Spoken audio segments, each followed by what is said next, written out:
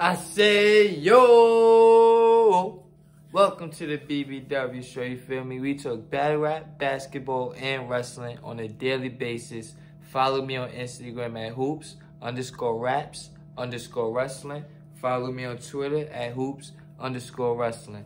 The topic for today is basketball. More importantly, Patrick Beverley as an analyst. I'm not gonna lie, I'm one of the biggest Chris Paul fans of all time. I've been enjoying watching Patrick Beverley crap on Chris Paul. I'm not gonna lie. It's been amusing. It's been very entertaining. Very entertaining. He definitely is. He has a future in this. I'm not gonna lie. He has a future in this. He's smoking Stephen A. on first take right now. He definitely has a future in a future in this. I'm not gonna lie. Um, he right about some of the things he said about Chris Paul? No. But Chris Paul, you're not gonna go on ESPN and defend yourself. So it's like, so what? You feel me? He he's home right now, so I don't have a problem with it. But I'm really making this video because I think they can strike gold. You feel me? We got Patrick Beverley as an analyst, part-time analyst. We got JJ Redick as an analyst. And we got Draymond Green as a part-time analyst.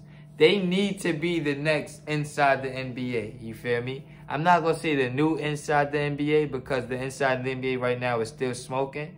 But the next era needs to be Patrick Beverley, Draymond Green, and JJ Redick. I ain't going to hold you. They all fit into their current roles perfectly right now. Gangster. JJ Redick is Kenny Smith. Patrick Beverley would be Charles Barkley. And Draymond Green would be Shaq.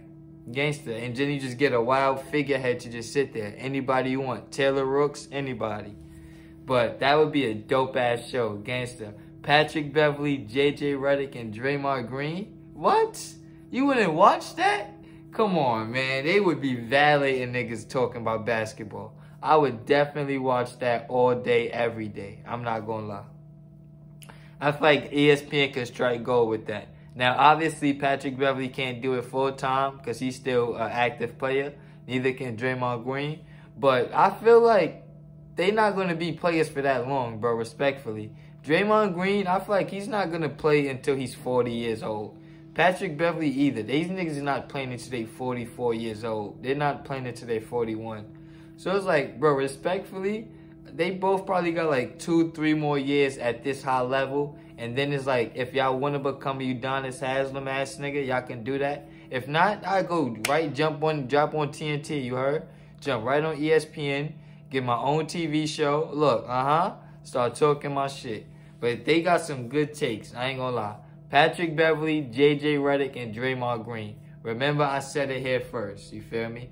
Like, comment, share, subscribe, turn on the bell for notifications. I will be back with more. Boom.